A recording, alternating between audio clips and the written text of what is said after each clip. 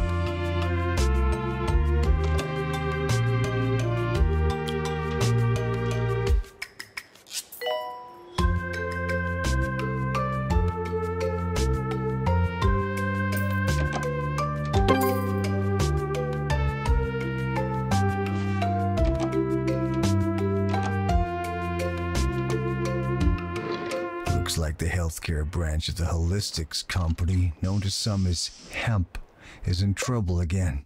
Apparently, Elixir, their latest product which claims to cure all ills, is in fact nothing but pine scented prune juice. Well, I guess it should cure one ill at least.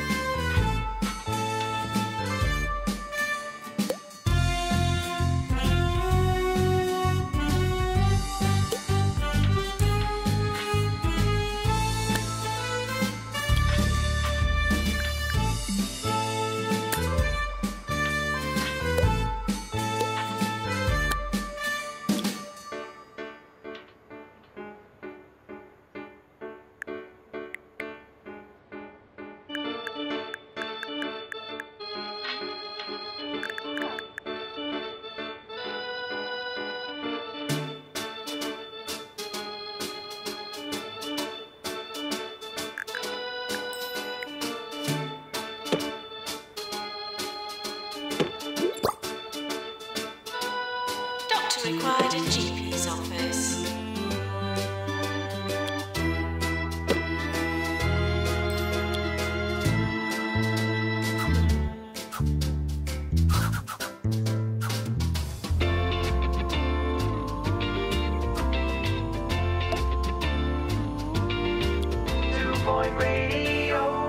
You're listening to Harrison Wolf on Two Point Radio. I went to the Cirque du Parfait recently. I was impressed by how experimental the acts were, till I realized I was facing the wrong way and just looking at the tent wall.